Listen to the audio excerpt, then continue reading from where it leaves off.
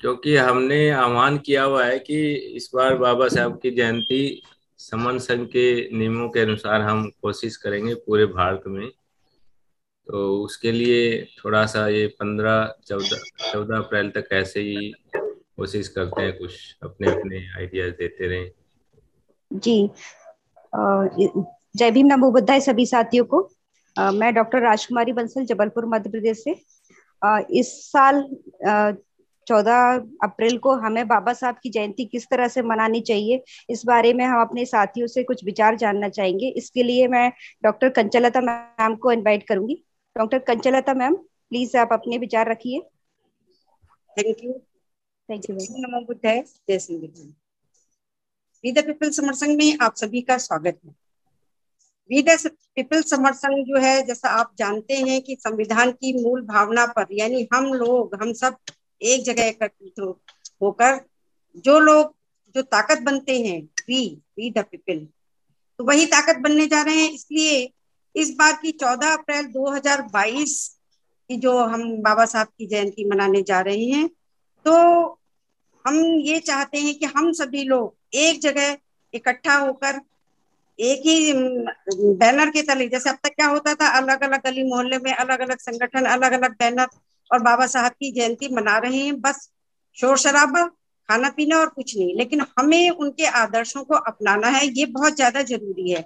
यही सच्ची श्रद्धांजलि होगी कि हम लोग जो है एक जगह इकट्ठे होकर बाबा साहब की जयंती मनाएँ। जो भी संगठन है उनको उनको अपने साथ मिल, मिलाने के लिए बातचीत करें। और सभी लोग प्लीज़ जितने भी लोग हैं विद पीपल से जो अपना इत्तेफाक रखते हैं हमारे इस कॉन्सेप्ट से उस सभी से मेरा अनुरोध है कि वो इस बा, इस बात को इस अपने आह्वान को ज़्यादा से ज़्यादा लोगों तक पहुँचाए कि सभी लोग जो भी जहाँ हैं वो सब इकट्ठे होकर एक ही जगह ये बाबा साहब की जयंती मनाए। यही उनको सच्ची श्रद्धांजलि होगी। थैंक यू जय भीम नमो बुद्ध जय सिंह थैंक यू मैम अन्य अन्य किसी अन्य कोई साथी भी इस बारे में अपने विचार रखना चाहे तो प्लीज़ हैंड रेज करिएगा। मैं भी इस बारे में दो लाइनें बोलना चाहूँगी कि जैसा कि मैम ने बोला कि हम सभी को अलग अलग विघटित होकर के अपने महापुरुषों को नहीं याद करना है। हम लोगों को इकट्ठा होकर के एक एकता का संदेश देना है। जैसे कि बाबा साहब को अगर हम याद कर रहे हैं चौदह अप्रैल को तो बाबा साहब ने कहा था संगठित हुई अगर संग, ना कि संगठन बनाइए। तो आपको संगठित होने के लिए एक कोशिश ये करनी है कि आप जिस क्षेत्र में भी बाबा साहब को याद कर रहे हैं उनकी जयंती मना रहे हैं तो इकट्ठा होइए। और बी द पीपल भी इसके लिए आपको बार बार अपील कर रहा है कि हमें ये संगठित होने का समय आ गया है और जो गलतियाँ हमने की है, अपने अलग अलग संगठन बना करके अलग अलग टुकड़ों में विभाजित होकर के और अपने आप को कमज़ोर साबित करके उस गलतियों को हम हमें सुधारना है तो इसके लिए भी आपको संकल्प लेना है। और बीदा पीपल भी इस बारे में बात करता है कि आप किसी भी महापुरुष की अगर हम जयंती मना रहे हैं तो इसके लिए आपको इतना पैसा खर्च करने की या बहुत ज़्यादा पैसा कलेक्शन करने की ज़रूरत नहीं है। चंदे का लेन देन भी आप कम से कम मतलब बंद कर सकते हैं। अपने महापुरुषों को याद करने के लिए उनके मार्ग पर चलने के लिए हमें पैसे की ज़रूरत नहीं पड़ती। बस आपको एक एकता का संदेश देना है? आपको संगठित होना है आपको बस यही प्रयास करना है। इसी बारे में हम बार बार हमारे साथी विदा पीपल भी बार बार यही अपील करता है। इसी बात का आपको सभी को संकल्प लेना है। जय भीम नमो बुद्धाय थैंक यू बहन जी। Thank you sir sir hand raise है केपी सिंह सर का। Doctor KP Singh sir please आप अपने विचार रखिए।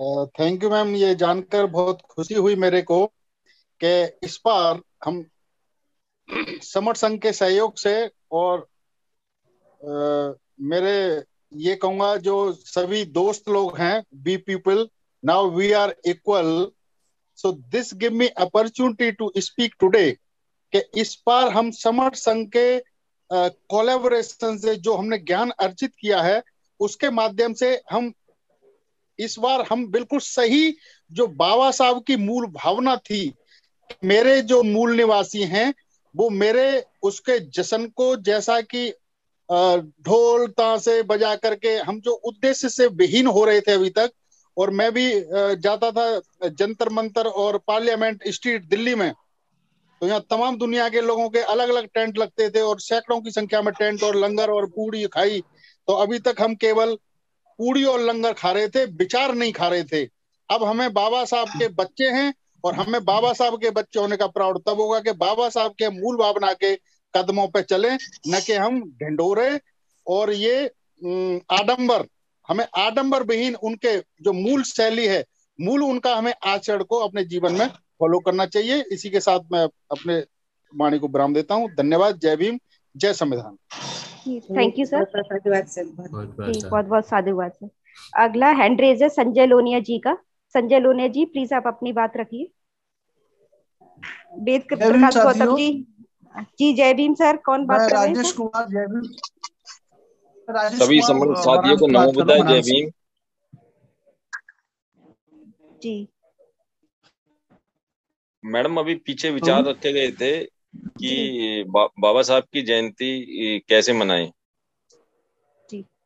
तो उ, उन उसमें मान्यवर जी ने कहा था कि पार्लियामेंट नहीं जाना है संसद भवन नहीं जाना है। तो मेरा विचार है कि वहाँ जाना चाहिए क्योंकि वहाँ हमारी जो पीढ़ी है नई पीढ़ी है उसको कैसे पता लगेगा कि, हमारा भी कोई मेला लगता है या हमारे लोग इकट्ठा होते हैं एक जगह? वहाँ पर सभी लोग आते हैं और सब अपना अपना जी जी जी सर। दिल्ली के सारे लोग पार्लियामेंट इकट्ठे होंगे सर। एक मेला वहीं लगेगा और कोई नहीं लगेगा दिल्ली का। ठीक है बहुत अच्छा है सर। बहुत अच्छा सिंह हर एक सिटी का हर एक सिटी का एक जगह लगना है दिल्ली का पार्लियामेंट पे लगेगा। बहुत बहुत बहुत बहुत साधुवाद सर। आपने ये प्रचार करना है कि दिल्ली का एक ही लगेगा और एनसीआर वाले वहाँ जाते हैं प्रेरणा स्थल नोएडा में जाते हैं। नहीं दिल्ली का एक जगह लगेगा तो हम उसी का प्रचार करेंगे सर।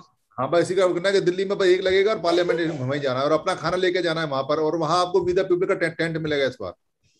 बहुत अच्छा रहेगा सर। ठीक है सर। आपने वहाँ टेंट का इंतज़ाम भी करना है। आप वो दिल्ली वाले लोगों के साथ मिलकर बात कर लेना। कौन दिल्ली से कौन कौन है यहाँ? है कोई? ब्रिजमोहन जी? काफ़ी लोग हैं सर जुड़े हुए हैं।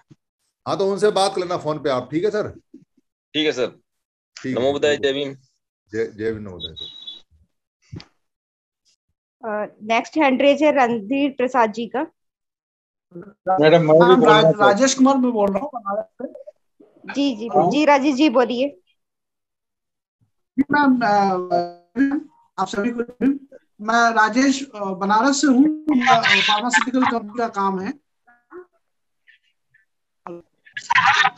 हेलो। हेलो। हेलो। जी मैम। और सर, इस बार इस बार जो हम लोग इस बार जो हम लोग चौदह अप्रैल मना रहे हैं वो डिक्की का मैं मेंबर हूँ बनारस कोऑर्डिनेटर हूँ उसके ब्याह में इस बार हमें राष्ट्रपति से मिलने का मौका मिल रहा है।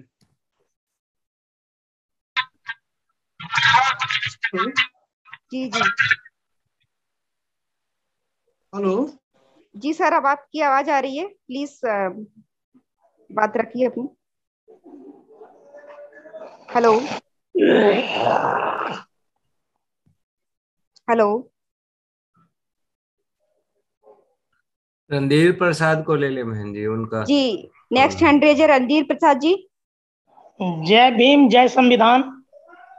जय भीम सर जी मेरा कहना है हम लोग बाबा साहेब के जो विचार थे कि हमें संगठित होके रहना है और हमारे बाबा साहेब के जो भावना थे तो हमको चौदह अप्रैल को इसी पर मंथन करना चाहिए कि हम बाबा साहेब को, जो हमको संगठित होने के लिए कहा था और हमने संगठन बनाने में अपना समय बर्बाद कर रहे हैं तो उस पर सोच विचार करना चाहिए। न कि माला पहनाना चाहिए, भोज भात करनी चाहिए, प्रसाद बांटनी चाहिए। और हमारे बाबा साहब कहे थे कि पढ़े लिखे लोगों ने ही हम लोग को धोखा दिया। जैसे कि इकतीस विद्यार्थी को उन्होंने भेजा था बाहर विदेश सरकार के खर्च पर, वो सबने सब धोखा दिया। और आज भी हम अपने समाज में लोगों को देखते हैं कि बाबा साहेब के संविधान से नौकरी प्राप्त करके मंदिर मस्जिद का चक्कर लगा रहे हैं। उनको कैसे प्राप्त हुआ ये अधिकार उसको भूल गए तो हमको कहने का मतलब है कि हमको बाबा साहेब के जन्म दिवस पर मात्र इसी बात का थिंकन और मनन करना चाहिए कि हम बाबा साहेब के मार्गों पर चल रहे हैं यदि नहीं चल रहे हैं तो कैसे चला जाए? इस पर हम लोग को गंभीर चर्चा करनी चाहिए। धन्यवाद। जी थैंक यू सर तो अल्टीमेटली बस आखिर में यही बात सबकी यही एक ही विचार है कि हमें बाबा साहब का जो भी जन्म दिवस मना रहे हैं कि उस सब की तरह मनाना चाहिए, जिसमें पैसों का लेन देन नहीं करना चाहिए और हमें अपने शहर या ज़िले लेवल पर बस सबको एक जगह इकट्ठा होकर के अपनी यूनिटी और ताकत का एक एक साथ इकट्ठा होकर के संगठित होने का संदेश देना चाहिए। जी, जय Bhim. S P Periyar sir, अभी दो हैंड रेज है लेकिन कॉन्सेप्ट का भी टाइम हो गया है प्लीज़ बताएँ आगे क्या करना है। हैंड रेज ले लो कॉन्सेप्ट में पहले कौन है? अच्छा अच्छा। हैंड हैंड रेज पे next hand raiser JP Singh Bauddh ji का।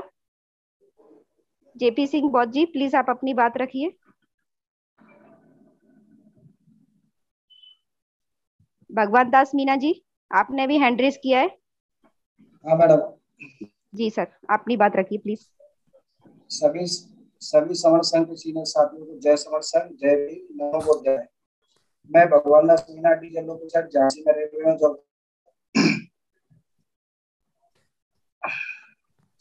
जी। साथियों में रहने वाला राजस्थान के धौलपुर का हूँ। मुझे समर संघ के बारे में दो दिन पहले मेरे के समान श्री जितेंद्र आर्या सर ने बताया। तो मुझे ये जानकर बहुत खुशी हुई। अब मैं भी बाबा साहब के विचार जुड़ सकूँगा और अधिक समझ सकूँगा। तथा अपने साथियों को समझा पाऊँगा। जय भीम नमो जय सभी बहनों, भाइयों को जय भीम नमो बुद्धाय के साथ। जेपी सिंह बोध हिसार से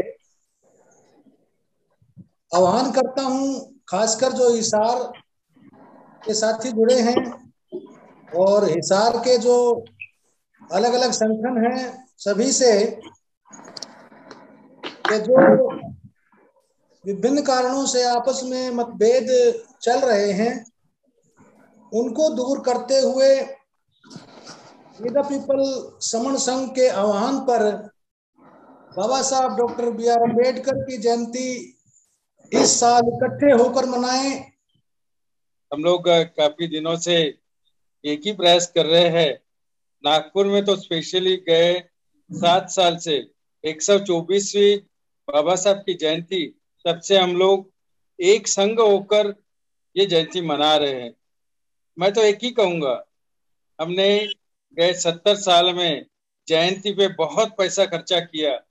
अगर हम लोगों ने इतना पैसा खर्चा नहीं किया होता, और तो आज हमारे मेडिकल कॉलेजेस रहते, आज हमारे बड़ी बड़ी स्कूलें रहती। हमने इस ओर कभी भी ध्यान नहीं दिया। मैं तो एक ही चाहूँगा, डॉक्टर बाबा साहब अंबेडकर की जयंती। इस वक्त एटलीस्ट हम लोगों ने इकट्ठा होकर ये शपथ लेनी चाहिए कि इसके आगे किसी भी कंडीशन में हम ढोल ताशे में या बैंड बाजा निकाल कर हमारे बाबा साहब की जयंती नहीं मनाएँगे। सिंबॉलिक जयंती मनाइए, सिर्फ़ इकट्ठा होइए और विचार विमर्श करिए। इससे समाज का पैसा बचेगा, आप सभी का पैसा बचेगा, वक्त बचेगा। हमारे ऊपर लोग उंगलियाँ दिखाते हैं। देखो इनके लोग किस तरह दारू पीकर नाच गाना करके बाबा साहब की जयंती मनाते हैं।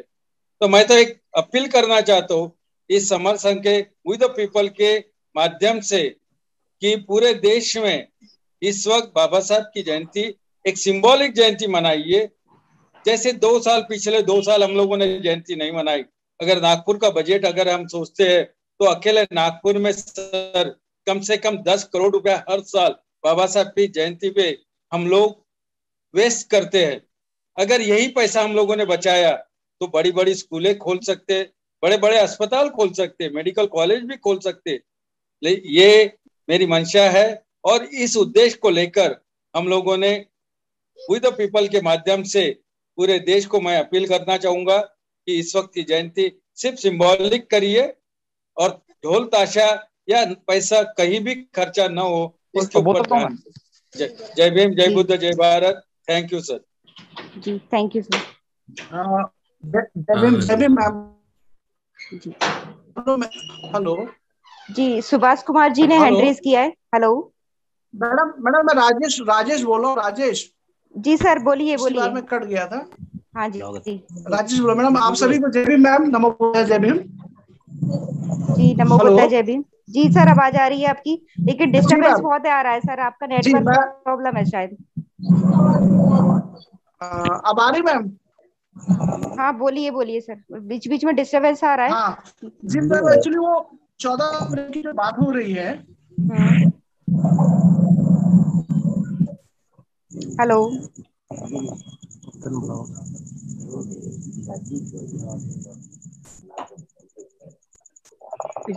म्यूट करिए। हेलो। हेलो हाँ हेलो। जी जी बोलिए सर। हेलो। प्लीज़ अनेश्री अपना माइक अनम्यूट ना करें सभी साथियों से अपील है। हेलो। जी सर आवाज़ बोले बोले अनिल कुमार जी अनिल कुमार के नाम से जो बोलना चाह रहे बोले। जय भीम नमो बुधाय जय भीम नमो उदय सर। कॉन्सेप्ट चालू हो गया हो जस्ट अभी अभी कर रहे हैं दो मिनट रुके आप बस चालू अच्छा हो रहा है okay, ji. Okay sir okay sir Periya sir please concept के लिए हाँ इनवाइट करें। कंसेप्ट के लिए एडवोकेट रामचंद्र जी हैं क्या? जी एडवोकेट रामचंद्र जी। मेरा नेट से बात कुछ yes sir yes sir madam मेरा सर आपका राजेश राजेश कुमार सर आपका ना नेट की इश्यू है शायद बात पूरी हो नहीं पा रही डिस्टरबेंस काफ़ी हो रही है। आप कुछ कहना चाह रहे हैं उसमें चैट बॉक्स में डाल दें एक बार? जी। सर एडवोकेट रामचंद्र सर आए। यस सर बहुत बहुत शुक्रिया। अ, सभी को मेरा नमो बुद्धाय जय भीम। भाइयों बहनों आप सबने मौका दिया बहुत बहुत शुक्रिया। मैं रामचंद्र बेसिकली मैं उन्नाव ज़िले से जाजनपुर गाँव, ब्लॉक बीघापुर में पड़ता है। वहाँ से बिलोंग करता हूँ और एयरफोर्स में 20 साल सर्विस करने के बाद अभी बड़ोदरा में सेटेड हूँ। As a legal practitioner as advocate Vadodara practice कर रहा हूँ। सबसे पहले कि समर संघ हमें बनाने की क्यों ज़रूरत पड़ी? जैसा कि अभी हालात जो हमारे देश में है इतने वर्ष हो गए हमें आज़ादी के? आज़ादी मिले हुए, लेकिन आज जो हालात है हमारा शिक्षा का स्तर गिरता जा रहा है। तरह अनेक अनेक अनेक तरीके के शोषण, अनेक तरह की समस्याएँ, नौकरियाँ नहीं है प्राइवेटाइजेशन हो रहा है। कई सारी समस्याओं से देश जूझ रहा है। इसकी तरफ़ कोई भी सरकार की मुहिम नहीं है। और हम ये बताना चाहेंगे बीइंग लीगल फ्रेटर्निटी जो शोषण हो रहा है देश में एक लीगल रिपोर्ट है। सिर्फ़ हम देश में बात करें अगर रेप की टेन परसेंट रेप की हंड्रेड परसेंट जो रेप्स होते हैं, उसमें टेन परसेंट मुश्किल से एफआईआर दर्ज होती है और उसमें से तीन परसेंट को केवल जस्टिस मिलती है। आप समझ सकते हैं कि तीन परसेंट को केवल जस्टिस मिलती है, बाकी नाइन्टी परसेंट बिना एड्रेस के रह जाती है। तो हालात इतने बदतर है। इसकी वजह से जबकि भारतीय संविधान बनाया गया समता स्वतंत्रता न्याय पर आधारित सबको बराबर हक मिले सबको न्याय मिले। लेकिन ऐसा नहीं है। डिग्निटी और रिस्पेक्ट से जी सके हमारे महापुरुषों ने जो मौका दिया हम डिग्निटी रिस्पेक्ट की बात की गरिमा की बात की वो नहीं है। आ, ये कैसे मिलेगा इसके लिए जैसा कि हमारे महापुरुषों ने निकाल के दिया कि अंधकार से प्रकाश की ओर हम कैसे जा सकते हैं? हमें हमारे महापुरुषों ने मानवतावादी विचार दिया है। और मानवता विचार वादी विचार एक थोड़ा सा बताना चाहूँगा कि अंधेरा से अंधेरे से प्रकाश में कैसे जाएँगे और कैसे आगे हम समस्याओं से नि, निकल पाएँगे? एक उदाहरण के तौर पर बताना चाहूँगा। एक बार अंधेरे ने डार्कनेस एक बार अंधेरे ने अंधेरा एक बहुत बड़ा फिलासफर था बुद्धिमान फिलासफर के पास गया और उसको शिकायत की। अंधेरे ने एक फिलासफर के पास जाके शिकायत की। कि हमें आ, हमें आ, हमें रात में हमें सोने को नहीं मिलता। जैसे मैं रात को सोने की कोशिश करता करता हूँ और सुबेरा हो जाता है मेरी नींद खुल जाती है मैं सो नहीं पाता। इस पर जो बुद्धिमान फिलासफर था उसने पूछा उजाले इसको बुला के भाई उजाले आप आके क्यों उसको डिस्टर्ब करते हो? तो उजाला कहता है अंधेरे से कि उजाला कहता है मैंने तो कभी आज तक अंधेरा देखा ही नहीं। अंधेरा होता क्या है? हमने सिर्फ़ उजाला ही देखा है प्रकाश ही देखा है। अंधकार क्या होता हमको मालूम ही नहीं। मैं इस रेफरेंस को इसलिए कहना चाहता हूँ कि हमारे महापुरुषों ने तथागत बुद्ध ने, बाबा साहब ने, महापुरुषों ने इतनी सारी बातें हमें निकाल के दी है विजडम के ऊपर, विवेक के ऊपर तथागत बुद्ध ने, करुणा और मैत्री जो उन्होंने सीधा क्या ज्ञान था इग्नोरेंस हमें इग्नोरेंस है। और हमारे इग्नोरेंस के निकालने के लिए समर संघ की स्थापना हुई है। समर संघ में जो जानकारी दी जा रही है मैंने भी कभी सोचा नहीं कि समर संघ की इतनी सारी जानकारियाँ मैंने भी काफ़ी सारी किताबें पढ़ी हैं सारी बुक्स में मेरे पास है। लेकिन ऐसी सी जानकारियाँ जो हमारे कर्मठ भाइयों से जानने को मिलती है कभी मैंने सोचा ही नहीं था। मैं भी पिछले अगस्त 2021 से जुड़ा हूँ और हर रोज लगभग कोशिश करता हूँ ज्वाइन करने की। यहाँ पे बाबा साहब ने जो मेहनत की जो हमें विचारधारा दी है उस पर हम चाहते हैं कि हम सब लोग रोज जुड़ के और इस पर अगर अमल करेंगे तो हम यकीनन कामयाब होंगे। हम सिर्फ़ इतना ही एक रेफरेंस देना चाहेंगे कि बाबा साहब जब आज से सौ साल से पहले जब उन्होंने बड़ोदरा आए थे पढ़ाई करके इंग्लैंड से और बींग इतने हाईली एजुकेटेड और as a defence secretary post पे उनको महाराजा गायकवाड़ साहब ने दिया था जैसा कि उनका एग्रीमेंट था कि आपको पढ़ने के बाद यहाँ नौकरी करनी पड़ेगी। उनको कमरा नहीं मिला रहने के लिए। उनको कितने हालात खराब थे जब उनको उस समय आज से सौ साल पहले। मैं सिर्फ़ ये कहना चाहता हूँ कि सौ साल पहले जिस व्यक्ति को रहने के लिए कमरा नहीं मिला, आज उन्हीं व्यक्ति को ये बात पहले भी मैं कह चुका हूँ। आज इस समय बड़ोदरा में वो जगह जहाँ पे वो दस दिन नौकरी की थी उन्होंने उनकी टेबल, कुर्सी, वो जगह रिज़र्व कर दी गई है। तो मैं ये कहना चाहता हूँ कि वो वो ऐसे शख्स थे जिन्होंने ऐसा काम किया इतने संघर्ष के बावजूद जो चीज़ें, इतना पढ़ाई करने के बाद सारी समस्याओं का निदान किताबों के माध्यम से लिखते रहे, पढ़ते रहे और हमें देखे गए। और आज इतने बड़े महान व्यक्ति हो गए, पूरी दुनिया उनको जानती है। तो मैं ये कहना चाहता हूँ समर सिंह जो काम कर रहा है, आप सब भाइयों से मेरा निवेदन है कि आप जुड़े और समर सिंह को, की बहुत सारी जानकारी को मिलेंगी, जिससे आप बाहर लड़ पाएँगे लोगों से और उनको बता पाएँगे कि समर सिंह कैसे काम कर रहा है। आप बताओ, समर सिंह से आपको बहुत सारे टूल्स मिलेंगे। बुक्स है, यहाँ पे बहुत सारी बुक्स हैं जो रिकमेंडेड बुक्स हैं, पढ़ेंगे। जैसे बाबा साहब ने लिखा है बुद्ध एंड धम्मा बहुत सारी जानकारियाँ दी है, उसको पढ़ के आप लोगों की समस्याओं को का निदान दे पाएँगे और लड़ पाएँगे जो बाहर की समस्याएँ हैं। अंत में हम सिर्फ़ इतना कहना चाहेंगे कि हम समर संघ में नीति और नियत की बहुत ही सबसे बड़े, सब लोग सवाल शिकायत करते हैं समर संघ में अलग क्या है? नीति और नियत की है। यहाँ पे सही नीति के साथ, ईमानदारी के साथ, नियत के साथ काम कर रहे हैं और हम सब लोग मिल करके आओ, हम सब लोग हमारे महापुरुषों की विचारधारा को लेकर समाज में जाएँ और जन जन को जागृत करें। और समर संघ की बहुत ही खासियत है, विशेषताएँ हैं, जो कहता है कि यहाँ पर कोई चंदा या शुल्क नहीं लिया जाता। यहाँ कोई छोटा बड़ा नहीं है। यहाँ कोई मायक और माला मंच नहीं है। कहने का मतलब है, यहाँ पर बहुत ही आसान तरीके से कंसेप्ट बनाया गया है, जो आम आदमी, हर आदमी समझ सके और उस पर अमल कर सके। और आप सब लोगों से सिर्फ़ कहना चाहेंगे अंत में कि आप बुक्स का जो हमारी बुक्स हैं, उसको अध्ययन करें। स्पेशली बाबा साहब ने जो बुक लिखी है, बुद्धा एंड धम्मा बहुत अच्छी किताब है, उसको एक ही बार नहीं या बार बार पढ़े। उससे बहुत सारी जानकारियाँ, बहुत सारा विजडम विवेक, ज्ञान आप हासिल कर पाएँगे। और जो इग्नोरेंस कमी मेरे समाज में इग्नोरेंस अज्ञानता है, उसमें बहुत सारा सहयोगी बन सकते हैं। और हम सब मिल करके देश को प्रबुद्ध भारत, समृद्ध भारत, जो हमारे महापुरुषों की कल्पना थी बनाए और आप सबने हमें मौका दिया। बहुत बहुत शुक्रिया। हमारी कोई त्रुटि है तो माफ़ कीजिएगा और इसी के साथ मैं अपना समाप्त करता हूँ। नमो जय जय जय भारत। जय सर बहुत बहुत